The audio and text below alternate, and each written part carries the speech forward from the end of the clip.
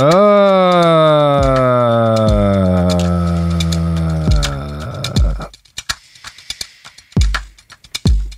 That's All right. that's that's it. That's the whole thing. that's how we're starting the episode, episode. Sophie.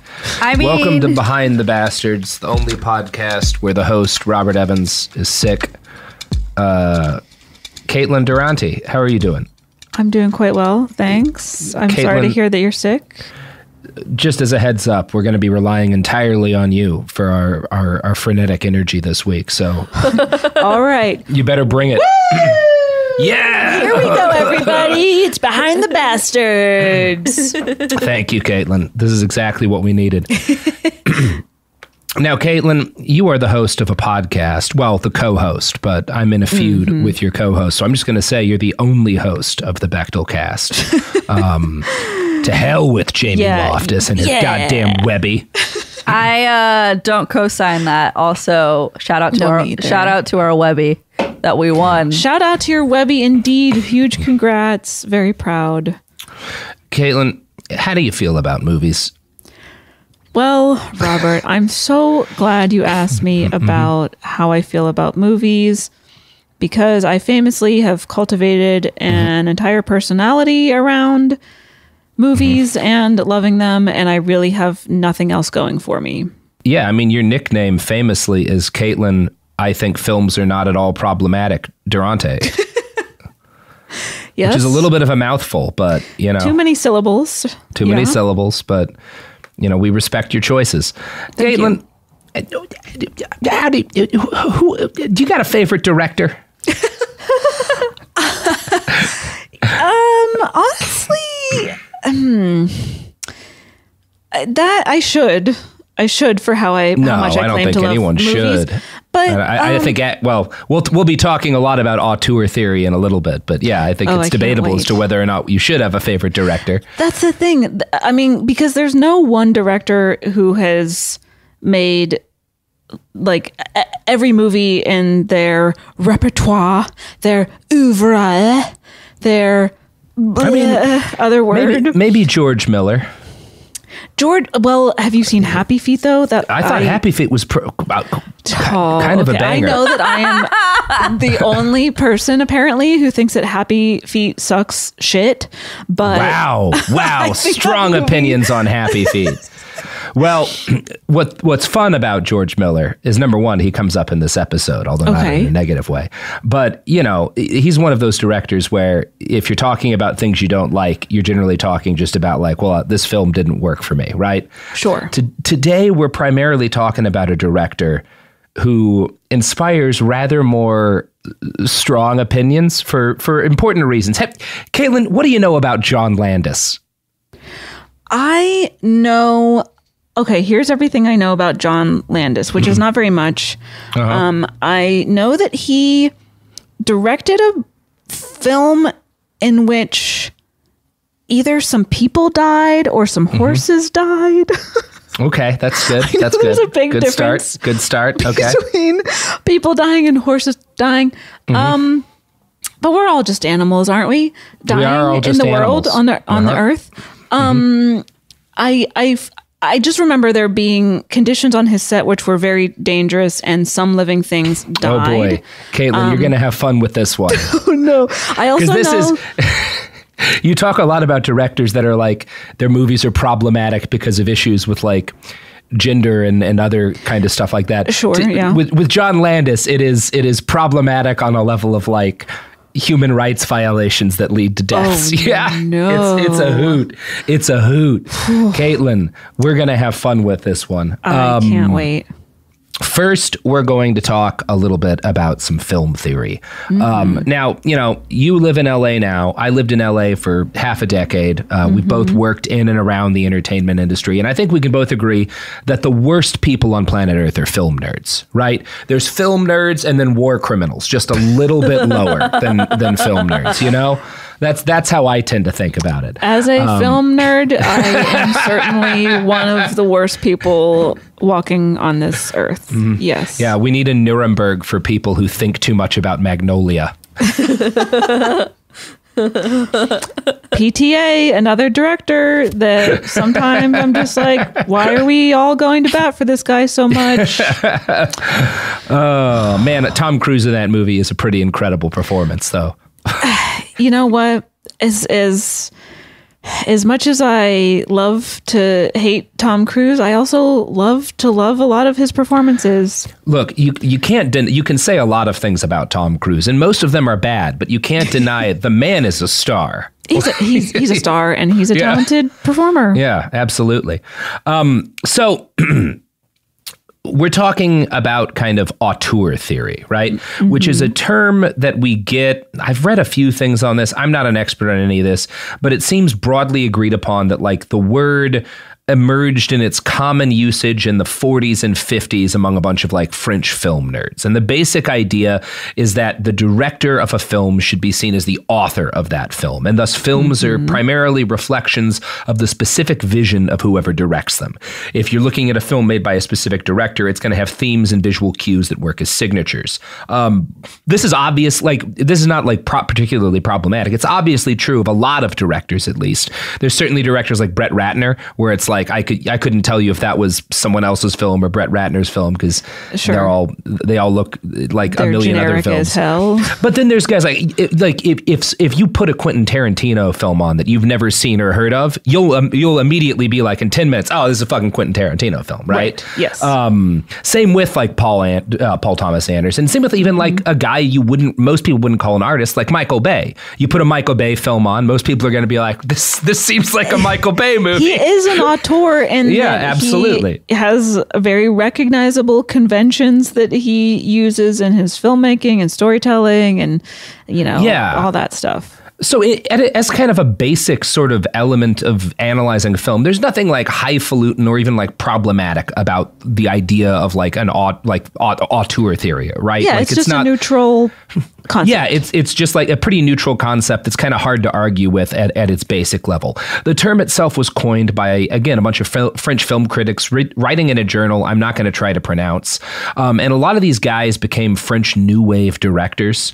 New York University professor Julian Cornell points out that the basic idea of au- an auteur in a film had existed as long as films had, and it probably originates most clearly from a German theater director Max Reinhardt in the 19 teens. The concept started to gain popularity, though, in the United States starting in the 60s and 70s. Um, and this came alongside the rise of like the directors generally seen as like the auteurs, right? Guys like Alfred Hitchcock, Marty Scorsese, Stanley Kubrick, Francis Ford Coppola, and William Friedkin, right?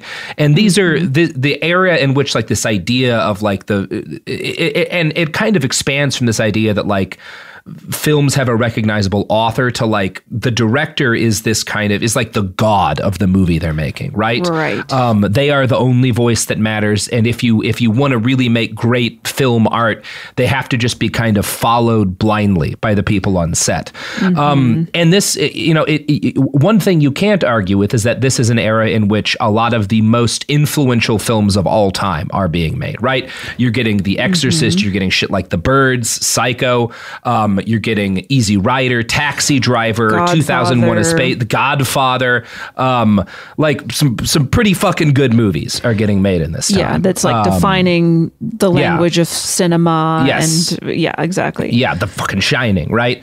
Um, so yeah, this isn't the the era in which people start to see directors this way is also the era in which movies that are generally seen as like the most famous movies of all time are getting made, um, and the sheer density of history making works of cinematic art in this period leads people to get a little bit carried away with kind of how important a director is and how they should be treated, right?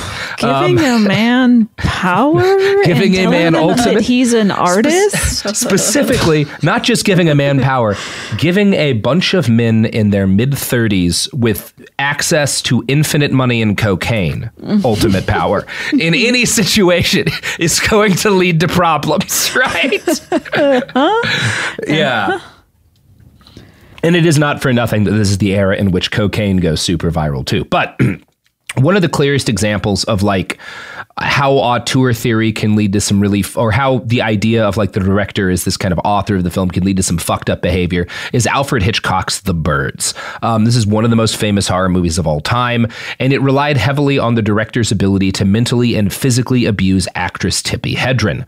We've discussed this at some length in our hitchcock episodes but i'm going to read a brief summary from a write-up in people based on hedren's recently released memoir Quote, everything was building towards the famous bedroom scene, Hedren writes of the scene in which her character Melanie suffers a vicious on camera attack by the birds. Up until the day of the filming, Hedren says Hitchcock had promised her they'd use mechanical birds, but on the day they started shooting, Hedren was informed by assistant director James H. Brown that the mechanical birds aren't working, so we're going to have to use live ones. Hedren writes that she endured five days of filming where handlers hurled ravens, doves, and a few pigeons at her. It was brutal and ugly and relentless, writes Hedren. Cary Grant, one of Hitch's favorite leading men, happened to be visiting the set that day and told me between takes, You're the bravest woman I've ever seen.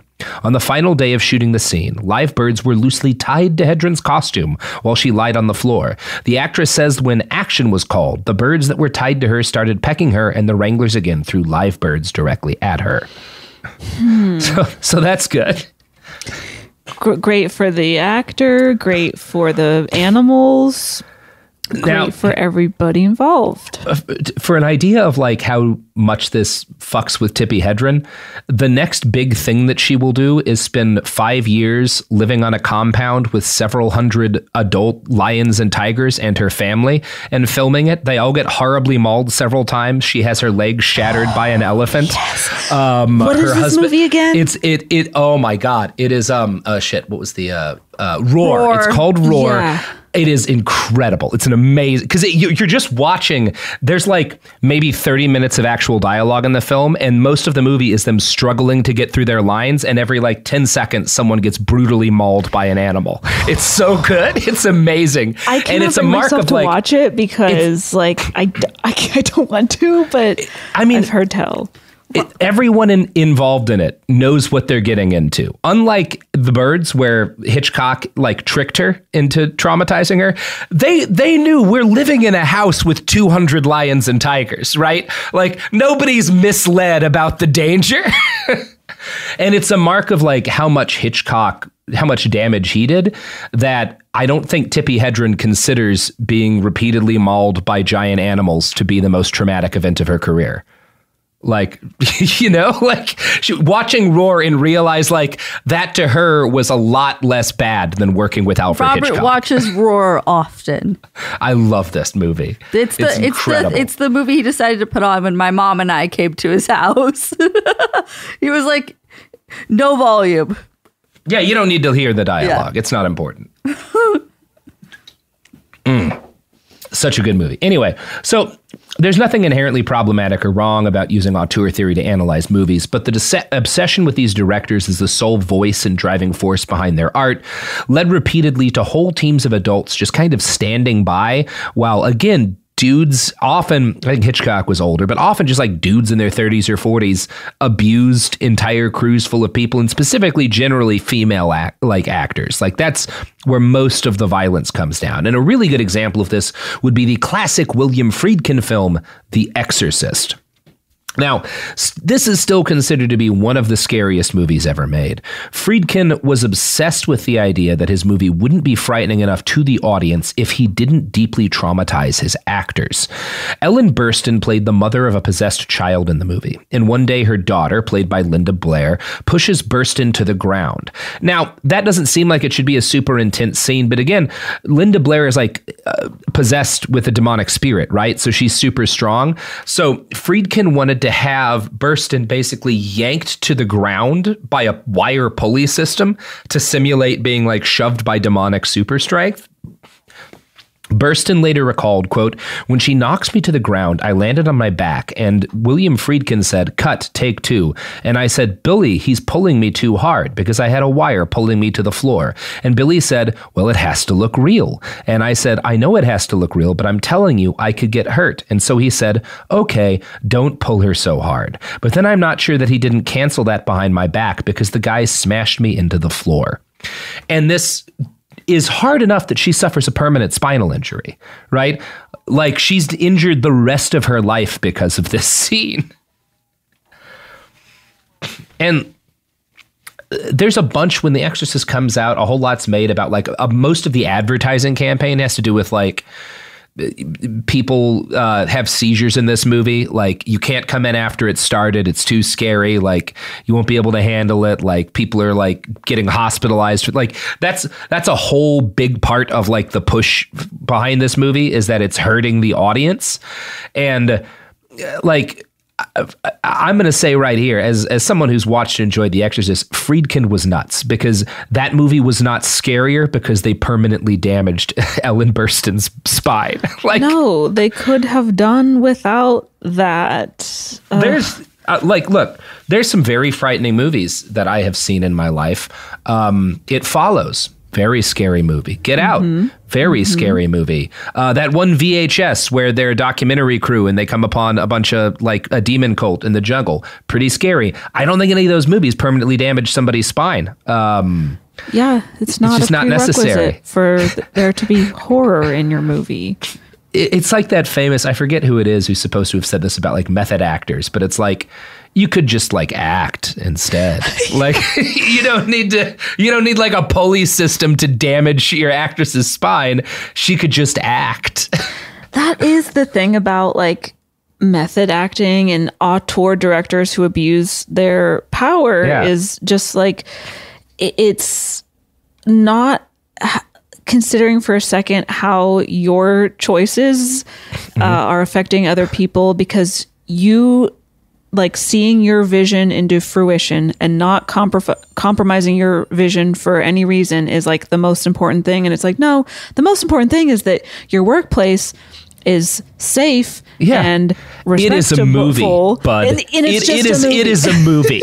like the stakes are not. You don't need to nearly kill people to see your vision come to life. That is not how that works you you almost exclusively see it with people directing horror, right? Like that's where really a lot of the worst abuses come from. Mm. Um, like you can look at The Shining too, where it's not so much physical, but Shelley Duvall is like really mentally oh, abused in that famously. movie. Yeah. Um, and I guess because they want realism or some shit. I, am a big Michael Mann fan. Um, mm. I you know I'm a I'm a gun nerd. Um, and the movie Heat is reve- is regarded by like people who are professional gun users as a perfectly accurate movie with the gunfights. That that big mm, okay. bank is just uh, like technically everything ideal. You notice that Michael Mann did not put live bullets in those guns and require his actors to get shot for real.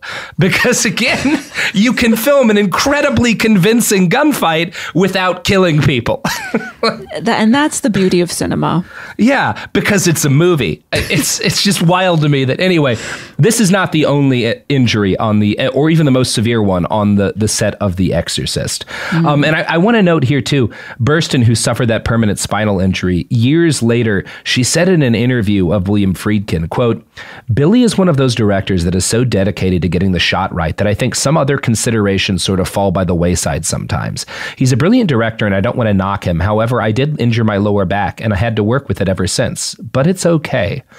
And like, it's not, mm-hmm. it's not Ellen. Okay. It's not okay you can you can knock him and you should. Yeah he should get knocked especially because of the story we're about to tell. Um uh. so at least Burstyn was an adult right she is she was not fully informed of how dangerous the scene could be but she was old enough to choose to get injured on a set right? Um, stunt actors do that all the time. Linda blair was 14 years old when she played the possessed little girl in the exorcist. Now one famous scene called for her to shoot bolt upright in bed right? This is the, if you like if you're watching a documentary that talks about movies and they show a scene from the exorcist this is the scene they're going to generally show where she like and it's it's a very like sudden sharp movement. In order to make the scene look kind of properly unnatural, Friedkin again used a mechanical rigging system to move her body. Blair later explained, quote, in this particular take, the lacing came loose. I'm crying, I'm screaming. They think I'm acting up a storm. It fractured my lower spine. No, they didn't send me to the doctor. It's the footage that's in the movie. So when you see that scene in The Exorcist, her back is being broken. Broken. Oh. She is 14. No, and she's a child and a spinal injury yeah. slash breaking your, your back is so scary and has such high stakes. Yeah, and I, I mean, speaking of high stakes, now she does. She's in a couple of other movies later on that she also gets hurt, less hurt in, but she winds up suffering severe scoliosis as a result of her oh, injuries. No. Um, and yeah, this cavalier disregard for the safety of children in the name of shooting a good scary movie only grew more pronounced over the next decade as the auteurs increasingly took over in Hollywood. The Exorcist was filmed in 1972. The movie we're talking about today, the Twilight Zone movie, was filmed in 1982. But before we get into that, you know what we should get into? Some products and services. For products and services? because while the director, William Friedkin, the director of The Exorcist, injured a 14 year old girl without her consent. We promise that all of our products and services only injure children with their consent or the consent of their parents. All right, here's, here's ads.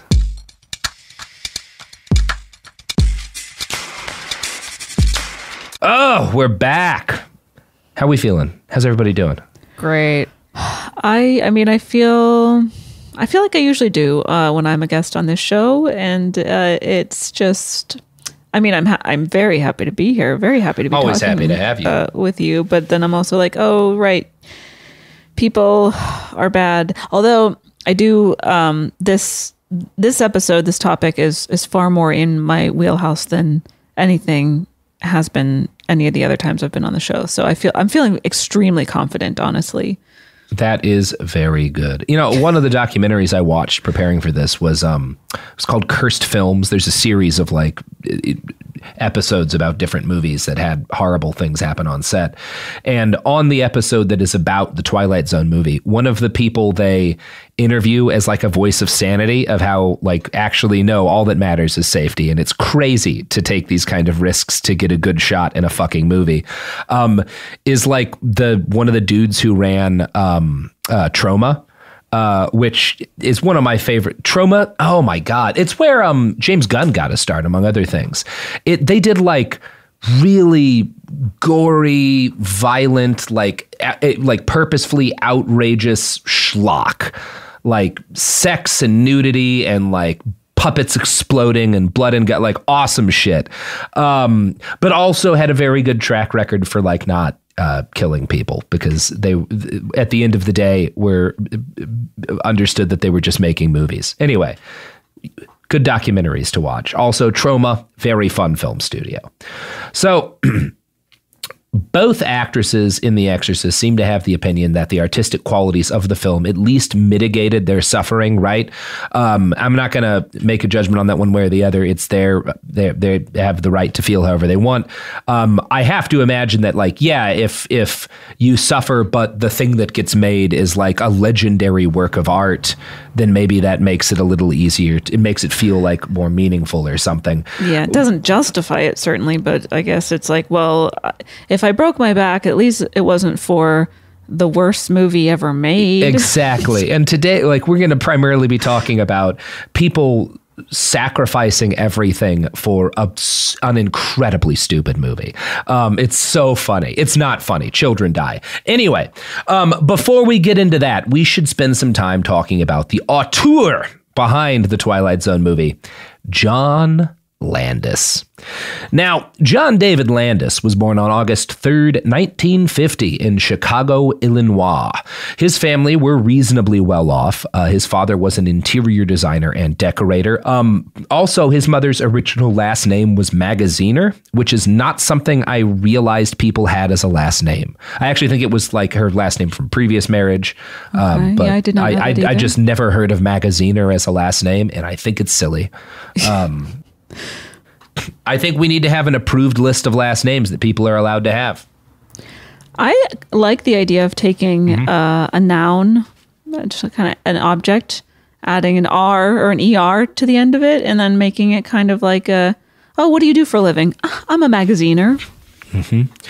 Well, that I, I guess I would know a couple of dildoers, which would actually be pretty funny. Um, do they make dildos? Do they? I mean, Hitachi is a last name, so mm-hmm. fair enough. Um, okay, the Landis family relocates to Los Angeles when uh, John is four months old, which is a decision that would have cataclysmic impacts on Hollywood for decades to come. When he was a little boy, John watched The Seventh Voyage of Sinbad, which he told interviewer Robert Elder was the movie that made him want to become a director. Quote, I had complete suspension of disbelief, really. I was eight years old and it transported me. I was on that beach running from that dragon, fighting that cyclops. It just really dazzled me, and I bought it completely. And so I actually sat through it twice, and when I got home, I asked my mom, Who does that? Who makes the movie? So this is like how he decides he wants to be a director, right? So John gets a job uh, as a young adult. I think he's like 17 or 18 as a mail boy for 20th Century Fox. Uh, he pretty quickly moves on to working as a gopher on film sets. Basically, he would just kind of hang around and do whatever odd job needed doing. Um, and this was under the logic, which is actually really good logic in Hollywood. A lot of people get their start in a variant of this way that, like, if you're just there, eventually something you want to do will need doing. And you can be like, oh, I'll do that. And that's how you start getting jobs that are more of the jobs you want to do um, this a lot of guys, especially in this period where things are a little more wild, um, get their start that way. So he gets his chance pretty quickly after he gets started in Hollywood in 1969, uh, when he scores a rare gig as assistant director on the World War II heist film Kelly's Heroes, which was filmed in Yugoslavia. He just sort of again been on set at, working as a gopher, and then the original assistant director gets sick and has to go home, and the director's like, "Well, we need another AD." And, you know, John Landis is like, I can do that. And he gets the job, you know? After this, his career moves steadily upwards. Uh, he had more formal roles on Once Upon a Time in the West, El Condor, and a number of other action adventure movies. He was known for being the guy who would do literally any job the film needed done, even if it was dangerous like stunt work and not something he knew how to do. As he later said, quote, I worked on some pirates movies, all kinds of movies, French foreign movies. I worked in a movie called Red Sun, where Toshiro Mifune kills me, puts a sword through me. I worked as a stunt guy. I worked as a dialogue coach. I worked as an actor. I worked as a production assistant. So he's just doing absolutely any job that they have available. And he builds enough kind of experience, he builds enough connections with other directors and some actors that when he's 21 years old, he's able to put together the resources to direct his first feature film. Although calling it a feature film is a little bit of grace that maybe it doesn't deserve. Because it's uh, like s- 61 minutes long or something or It is it is ultra low budget. Most of the money is provided by his dad. Um, he like okay. takes up a collection from family and friends. The title of the movie is Schlock. Like it's literally called Schlock. um, Very good. Good, good, here, Here's how IMDb describes it. A small town is terrorized by the banana killer, which turns out to be the missing link between man and ape. Now, I have not watched this movie. Uh-huh. My time is slightly more valuable than that. But I also came across a fan summary of the storyline on IMDb, and my goodness, I would be doing everyone a disservice if I didn't read that too. A monkey type monster falls in love with a blind girl, which thinks that he's a giant dog. After kidnapping the girl and fleeing King Kong like onto the roof of a gym, he gets involved with the army. Now, I have not seen this movie. John Landis, to be to be entirely fair, John Landis is on the record as saying it's terrible, right? Like he he he does not pretend this was any good, and it was supposed to be like a, a, so bad it's it's funny movie, right? Like that was the goal. This was not like a serious, like it was a loving send up of of of shitty monster movies. That's why it's called schlock, you know. Now, John wrote, directed, and starred in costume as the ape monster. Um, he had actually originally intended his first film to be an underground porn movie, but he apparently gave up on the idea when he learned that he'd need to cut in organized crime. Um, so, if you're wondering where John Landis's moral lines lie, I guess that's that's as close as you're gonna get.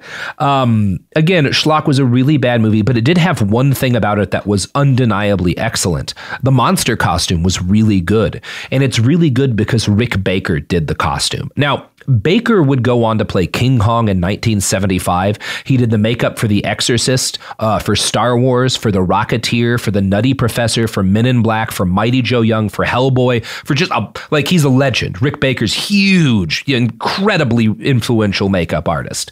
Um, Landis could never have afforded him as an actual professional, but Rick Baker wasn't yet a professional. Max Landis or John Landis stumbles into Rick Baker when he's like living with his parents and cooking latex costumes in their kitchen oven. Um, so he's basically able to get this kid for his first gig. This guy who becomes like a legendary, um, like monster kind of prop maker type dude. Um, so that's one of the reasons why this movie is noteworthy. Is that like as much of schlock as it is, there's a pretty fucking cool monster costume in it. Um, so for two years, Landis is unable to get any kind of distribution for his weird film. He makes it in 71. It doesn't get distributed until 73. The closest he gets is an offer from Roger Corman. Roger Corman is an incredible schlock director. He's the guy who taught James Cameron everything, by the way. Um, and Corman offers to distribute it if uh, John Landis, quote, adds tits. uh, Roger Corman. Okay, hundred percent agree. Uh, every you, movie, yeah. every movie needs more tits. Yeah. If you have if you have spent thirty seconds googling Roger Corman, you will be like, yeah, that makes sense. That's totally scans. Yeah. so. Luckily for John Landis, and probably mostly due to the quality of the monster costume, the film does eventually get distributed because of a single influential fan, Johnny Carson. Now, we we'll do a whole episode on Johnny Carson because he was a monster. He was just a horrible, horrible human being. Um, but he is also like the absolute king of late night television for like half a century. Like basically, if you have if your parents are boomers, for most of the time they were alive, Johnny Carson was like the most influential man in entertainment, pretty much. Um, there's no one alive today who has the kind of cultural cachet that Carson had in the 70s. Like that, we just it's not possible to be that influential in in pop culture anymore. Um, I want to play a little audio of John Landis explaining what happened next, so you can get a feel for the guy, uh, and because I think the story is kind of interesting. Very generous, and he had me on his show, and it was funny because that time I was 23. Uh, the movie was finished for over a year and a half, but he, I was told I had to say I was 21 because the gimmick was I was 21 year old filmmaker. I go, yeah, but I'm 23 now. Shut up. You know? So anyway, I was on that show and they showed clips, and that's I got a distributor like that. So that's how he like right it's like a a little bit of a con from Johnny. Like he Johnny Carson being a guy who knows what gets people interested is like nobody's going to care about some kid made a movie but some 21 year old makes a movie. Well that's a little bit of a story you know? Mike Carson's not a good accent. Um, but fuck fuck him. He, he sucked. So One of the people who watched the Johnny Carson show that night and saw John Landis on it and saw clips from his movie Schlock was Bob Zucker. Now, that's a last name that should be familiar to people, right? Mm-hmm. The Zucker brothers are the people who eventually will give us Airplane and the Naked Gun trilogy and also a bunch of much worse movies. Mm-hmm. Um, at this point, they're again in like their early 20s and they're part of a sketch troupe called Kentucky Fried Theater. Um, and they eventually get together with John Landis and he's the director. They write the screenplay and they put together what's called like Kentucky Fried Movie, which is like you know, it's like we, we've all seen like Hot Rod as like the movie from fucking um uh, what's his name um Andy Samberg Andy Samberg sketch yeah. troupe. Like you get like this is a thing that's been happening for for forever. This is one of the first cases of it where like you've got this sketch troupe, they're pretty big, and they get a movie, right? Um, like it's this thing that will become kind of a big part of how comedians break into having their careers. Um, yeah and this is this is like a reasonably successful. I should take hit. notes so that I yeah. can learn as a comedian how to have a career. Mm. Well, it helps to be a Zucker brother. Um, okay, I'll just do I, that. I, yeah, I would. I would definitely try being Bob Zucker if you okay. can. Thanks. Um, so with this movie, it's a big enough hit that John Landis makes a name for himself, and a Universal executive picks him out to direct their next big movie in the pipeline, a college comedy film called Animal House. Mm-hmm. Yeah, have you seen Animal House? I have. It's been many years. I don't remember it very Yeah. well, but I, I remember like the noteworthy parts of it. The Yeah, where he John drinks the whole bottle of liquor. Yeah, there's some there's some fun stuff in it. Like Belushi. I don't, no, but Belushi like really was a very talented comedic actor. It's a movie that's got some really good parts. I haven't seen it in a couple of years. I'm sure there's some stuff that hasn't aged well. It has aged better than its descendant film Revenge of the Nerds, um, which is uh, like maybe the worst aged movie I have ever seen. it's right up there. It's Yeah. real hard to beat that one in terms of is now unwatchable. Um, Animal House. I, last I saw, like again, there's some really good bits in Animal House, um, and it's one of those things. Animal House invents like the college comedy genre.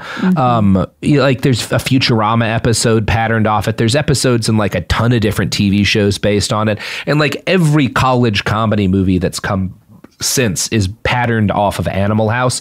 It's also like the first gross out comedy. Like it effectively invents that genre of comedy. Like fucking um um uh, uh, uh, uh, American Pie, like a whole bunch of fucking movies Yeah. um, that that come later are all kind of made in the image of Animal House, one way or the other.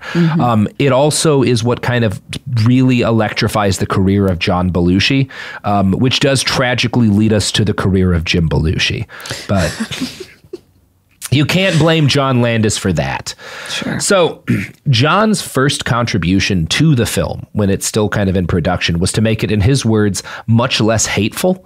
Uh, the original draft was it was a National Lampoon movie, and they Right. liked mean comedy, um, and so he he felt there was nobody to root for. He made uh, you know the the the frat that is the heroes like a lot less uh, awful. Um, Is kind of the way he's put it. I haven't seen the original draft of the script. He also wanted it to be more authentic, right? He really wanted it to feel real, so he wanted to film at a real university. They actually picked the University of Oregon in Eureka, um, and he arranges for his cast to party with a bunch of actual '70s frat brothers, so that they'll understand what like real frat parties are like. This does not go well. Um, see, the frat What? kids were not impressed with having like B. These guys at the time, like most of these folks are like B and C list Hollywood types, right? They're mostly the folks who show up at the party, at least, are mostly not big names. Yeah. Um, and uh, a misunderstanding occurs, and the frat boys beat the shit out of Landis's actors. Whoa. Yeah, it's really fun. They just fucking wail on him. Um, I'm going to quote from Stumped magazine now. Landis was never told about the fight as he was saved by his first assistant director, Cliff Coleman, a crusty cowboy boot wearing Sam Peckinpah veteran. It was Coleman who insisted that nobody tell the director a thing about the brawl, and he also found the necessary medical care for the actor's bruises, chipped teeth, and other wounds. He was gruff and big, and we were kind of like the grizzled old Sarge in private, Landis says of Coleman, adding that he was glad he never heard about the fight, noting, I would have freaked out. Um, now, given what comes next, I don't know if I believe that. Um, but whatever you want to say about his tactics in this movie, Animal House is a huge success. It changes the game for comedy blockbusters, and it turns John Landis into something approaching a household name. Now, that was 1978. In 1980, John co wrote and directed what will probably always be his best film, The Blues Brothers, starring John Belushi and Dan Aykroyd and featuring every living musician worth anything in the United States. Mm-hmm. And I know, I'm a big Blues Brothers fan. Uh, I've honestly never seen it. it's a good ass movie. I watched it very recently. That motherfucker holds up. That is a good ass movie. Okay. Um, it's got like Aretha Franklin in it. It's a really quality, quality film. Um, features like the most police cars ever destroyed in a movie. There's a bunch of cool shit in the, and it is also, this is something I think people may not realize who have watched it more recently, because most of us encountered it 20, 30 years after it was filmed. Um, Animal House was a two and a half million dollar movie, right? Which is not like micro budget, but is not high budget for the era. Blues Brothers is a $30 million movie. It is one of the most expensive films in history at the time that it's made. Um, wow. yeah, it's a that, was its massive budget. movie. Yeah, 30 million, which is like In at the time. 1980? Hu- yeah, huge. Wow. Well, because there's, I mean, the climax of it, there's like hundreds of police cars crashing into each other, flying off of overpasses. Like it is a, it is a, like the conc- the the climax of that movie is pretty spectacular. I gotta watch Um, it. It's really good. It's a really good movie. Max Landis, or John, sorry, Max. I keep mixing them up. Max Landis is a bad director. John Landis is not a bad director. He's a bad person, and not all of his films are good. But like, he directed some solid movies, and Blues Brothers is a really good movie. Um, and so this rockets it. This makes it. He's a list now, right? After fucking Blues Brothers, it's one- it's still one of the most successful comedy movies of all time. Um, and at this point, he has become like one of the auteurs that studios are going to shovel money at and try not to fuck with. You know, he and Steven Spielberg become friends in this period from '78 to like the early '80s, uh, and the two allegedly have a friendly competition to see who can get the most expensive movie made. Right. um, so like they're competing. You know, they're they're like 33, 34 in this period of time. Right, yeah. They have unlimited money. Everybody's telling them they're geniuses and they're all powerful on set, right? That is such a they, They're both dangerous- crazy in this period of time. Scary. Talk about horror movies. That's a Yeah. horror movie. Yeah. Now, in 1981, John gets to make another one of his screenplays into a movie, An American Werewolf in London. Uh, it was another really big hit. It effectively invented the comedy horror film as a viable profit making genre. There had been like comedic horror before. This is the first time it's actually like, oh, you can make some fucking money doing this shit, right? Um, so at, by the time 1982 runs around, John Landis has directed one of the highest budget movies of all time. He's invented gross out comedy, and he's in, he's effectively like invent helped to invent like comedy horror as like viable, profitable genres. Right? He didn't like create the idea, but he was the guy who like made them make money for Hollywood. Um, he's a fucking he's he's he's on top of the goddamn world, right? Um, Animal House, more like Powerhouse. That Yeah, was he is- not well, my best attempt at a that joke. was good. But No, I'm proud of you. Thank I'm you so proud of much. you. Jesus Christ, and I love you, Caitlin. Love you too, So- Robert. Mm-hmm. We're the same person. Anyway, moving on. So, when Warner Brothers decided they wanted to release a reboot of perhaps the most beloved franchise in American horror history, The Twilight Zone, they knew exactly who to go to. John Landis. So he signs on to produce the movie alongside his buddy Steven Spielberg, right? It's fucking 1982. You've got John Landis and Steven fucking Spielberg on the same production. Like, yeah, like, right? You couldn't be more set up for success, you know? Um, now, it's a little bit of a weird movie because, again, it's based on a TV series that's kind of an episodic series.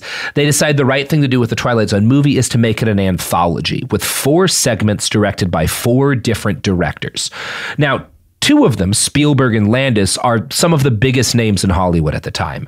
The other two are less well known Joe Dante and George Miller. Now, George Miller had just directed Mad Max 2, which is most people have not seen the first Mad Max. It's like a really kind of niche, like he's still a cop in the movie. It's set before like the world really completely crumbles. Um, And it's very much like an Australian movie as opposed to Mad Max 2, which is obviously still Australian, but is a huge hit, right?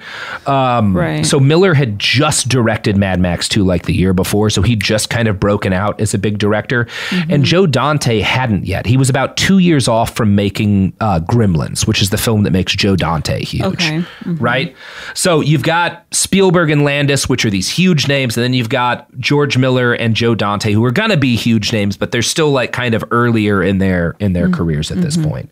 Um, although I, I shouldn't say George Miller is early in his directing career. He'd already spent decades working as like a, a, an emergency medical doctor, um, which a lot of people don't know about Really? George Miller. I Yeah, he was like an I ER learned- doctor for years and years. That is wild. I learned that I feel like every few years and then I Yeah. promptly forget and then I relearn it and I'm just just as amazed all over again.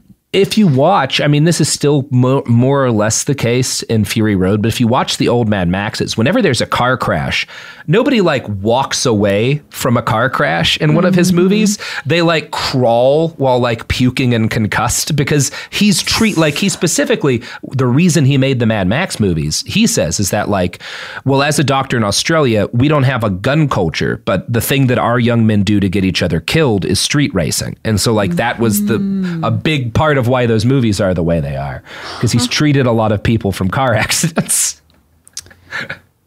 And that's why Happy Feet is mm-hmm. the way. That's such a brutal is. movie about penguin based crime, which is the primary cause of death in Australia to this day. Exactly. Yeah. Um, so anyway, uh, the Twilight Zone movie opens with a prologue scene featuring Dan Aykroyd and Albert Brooks. Um, Aykroyd is, you know, most famous for Ghostbusters, and Albert Brooks is, Brooks is most famous for voicing Hank Scorpio on The Simpsons. Um, so both guys are kind of driving through the night and discussing their favorite Twilight Zone episodes. As the prologue ends, Dan Aykroyd convinces Brooks to pull over so he can show him something scary. He then turns into a pretty corny monster and eats him. It's not a great start for the movie. Um, kind of not very imaginative for, again, you know, Landis is directing this scene. He's certainly a guy who's capable of some imagination. It's maybe a sign that the movie was not actually in great hands and that Landis wasn't a good pick.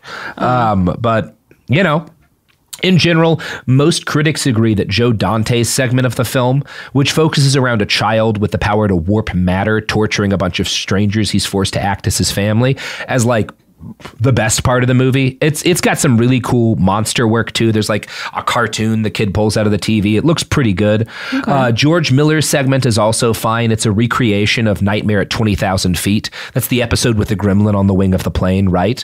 Um, But this time, John Lithgow is like the dude who's seeing the gremlin, which. Anything with John Lithgow is instantly a piece of beloved Americana. Yeah, Shrek. Um, absolutely. Absolutely. John Lithgow has never done anything wrong. I think we can all agree on that. Um, Spielberg's segment is weaker.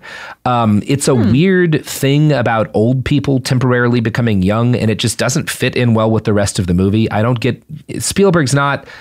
Not like a great horror director, in my opinion. Um, I mean, the only other thing I can think of that, uh, well, I guess Poltergeist, and then he did Duel as one of his early. he's, he's got Poltergeist, but I, I still don't think Poltergeist is very scary. Anyway, whatever. yeah. Yeah. You know what is good at horror? These products and services. because there's nothing more frightening than capitalism, Caitlin. It's an engine of blood churning us all ever closer to destruction, just as churns us ever closer to a delicious meal by shipping a box directly to your home filled with ingredients all wrapped in individual plastic packages. yum yum. Mmm, plastic.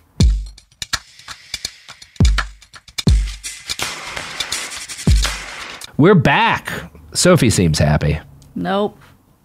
No? What, what's up, Sophie? You're just so annoying. Yeah. Well, Yeah. yeah. Well, yeah. you know, you're trapped here, Sophie. Caitlin's lovely. We, we, we have a network now. Thank you. You are my business partner. Yeah, you can't get away from it. forever. Forever. So, um, now we've talked about the other segments of this movie, which again are not bastard worthy, and I'm just going over to give you kind of a context of what's in this film. Sure. We're going to spend the rest of our episode talking about John Landis's segment, which would turn out to be one of the most disastrous things ever filmed.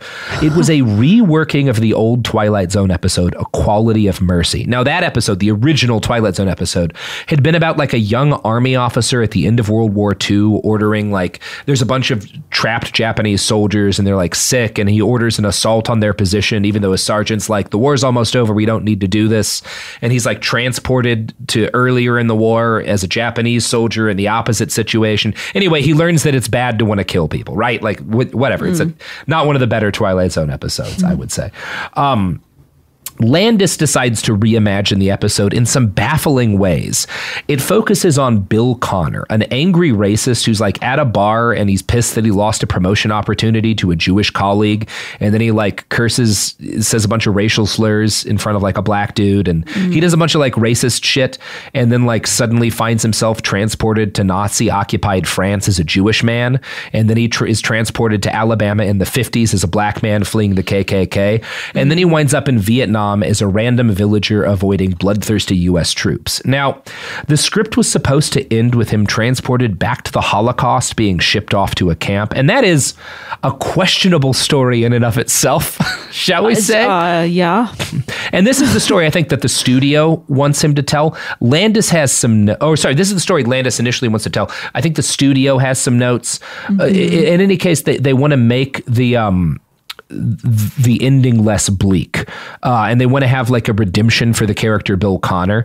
So Landis rewrites the script so that it ends with Cooper as a Vietnamese villager rescuing two young children from an attacking American helicopter, right? Um, so they change, you know, what's supposed to be the climax of the episode. Um, now, as you'll remember from Animal House, John Landis had a thing for realism. And that's, you know, wasn't necessarily a great decision for making a movie about fraternity kids partying. It's going to be a real problem now that he's making his first big war movie because he wants to really, he wants to, he wants his Twilight Zone scene to have like deadly accurate combat recreations that are like as harrowing as the actual Vietnam War. Okay. So he's really obsessed with having a helicopter swoop in on actor Vic Morrow, who plays Connor, and the children as they're struggling through a raging river, as like explosions detonate this village behind them and gunfire stitches through the foliage around them.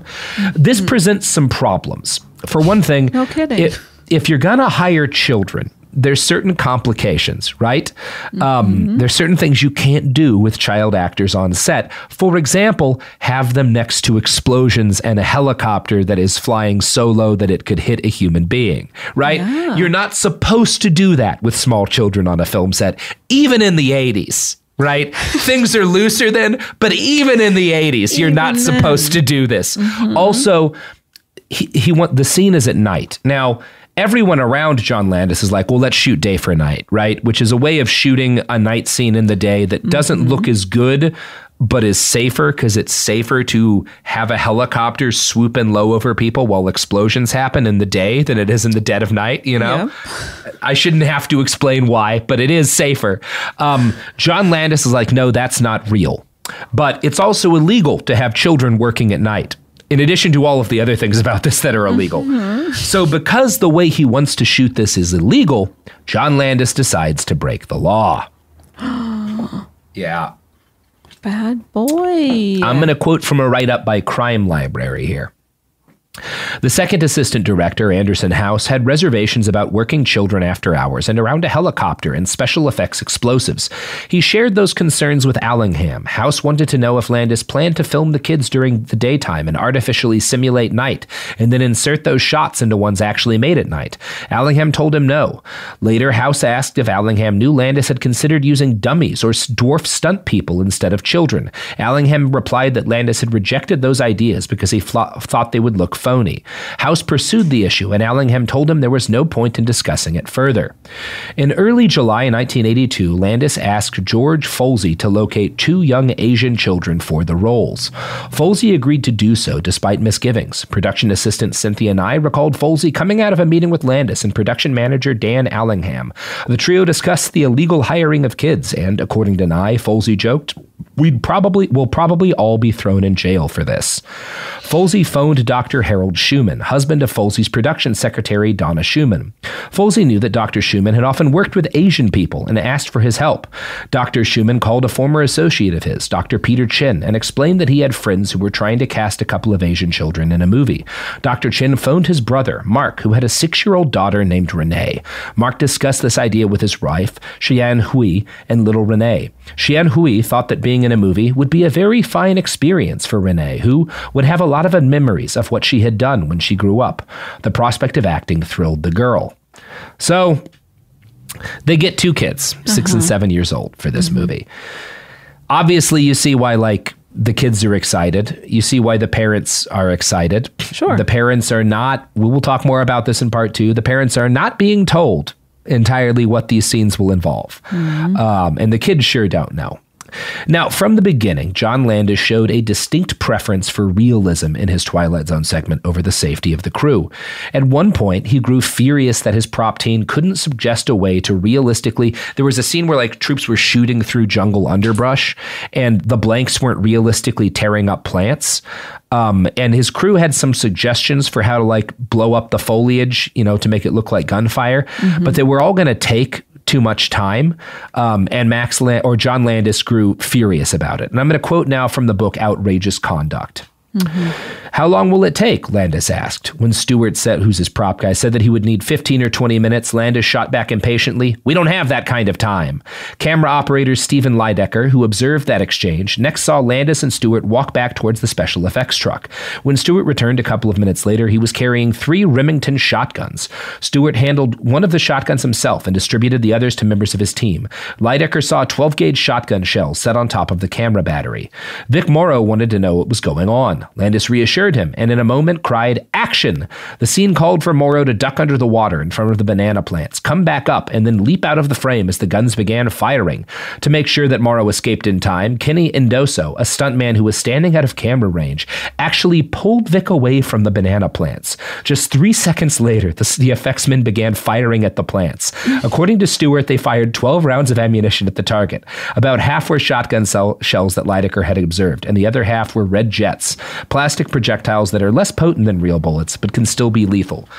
So they are firing live ammo towards an actual human stuntman who is only not shot because he is physically pulled out of set immediately before the gunfire starts. Yikes. This is not good film safety. No. I would say not. This is not how you should do anything with guns, um, mm-hmm. except for shoot at people. This is actually pretty close to how you shoot people. Just if don't have someone pull them away. right. if you actually want to shoot a person and hit them, that sounds yeah. like this is two thirds of the way there. Yeah. Yeah. yeah. So Vic Morrow finds all of this really unsettling. Um, he's not happy with this, uh, mm-hmm. but he's also an old actor. He's on the downswing of his career. This movie's kind of like a comeback attempt for him, right? Mm-hmm. He's had a couple of rough years, and he's he's seeing this as like his best hope for revitalizing his career. And so he he doesn't confront Landis directly because he feels like if he goes to Landis and complains about how dangerous things are starting to seem on set, Landis will yeah, and Landis will blacklist him, right? Yeah. Because the director is God. You know, Landis mm. is a is famous for being dictatorial. That's what a lot of people will say. Uh, and he does not take being questioned well. So, as is the standard in Hollywood back then, safety concerns by the crew are put aside because the auteur in charge of the production had a vision. And unfortunately for everyone, that, invi- that vision next included a helicopter hovering low over Vic Morrow, six year old Renee Shin Yi Chen, and seven year old Myca Dinh Le. In part two, we're going to talk about what happened next. But now, Caitlin, we're going to mm-hmm. talk about your pluggables. Oh my gosh. Well, you can follow me on Twitter and Instagram at Caitlin Durante. You can check out my podcast about film, in which my co host, Jamie Loftus, and I often talk about auteur directors and uh, the fuckery that happens um, on their sets, usually as a mm-hmm. result of their tyranny. So um, check check that out. the Bechdel cast, uh, produced by uh, our very own mm-hmm. Sophie Lichterman. Oh my god! Hi, hi, mm-hmm. and uh, yeah, those that concludes my pluggables. Well, you should also check out my new podcast where I listen to episodes of the Bechdel cast and, and devise new drinking games to go with them. It's called Get Rectal Cast with the Bechdel cast. And you can catch it five days a week on Cool Zone Media. So Very no. cool. Check it, check it 100% out. 100% no. I'm sorry, what was it called again? Get Rectal Cast with Get the Bechdel rec- cast. Okay, so re- but it just sounds like rectal Yes. Yes, yeah, it does. Okay, yes. That's actually what everyone involved in production told me, and I bravely did not listen to them. Well, that's because you're an auteur. Mm-hmm. that's exactly what I shouted to them while waving a shotgun. uh. Uh, good stuff. All right. Behind the Bastards is a production of Cool Zone Media. For more from Cool Zone Media, visit our website, coolzonemedia.com or check us out on the iHeartRadio app, Apple Podcasts, or wherever you get your podcasts.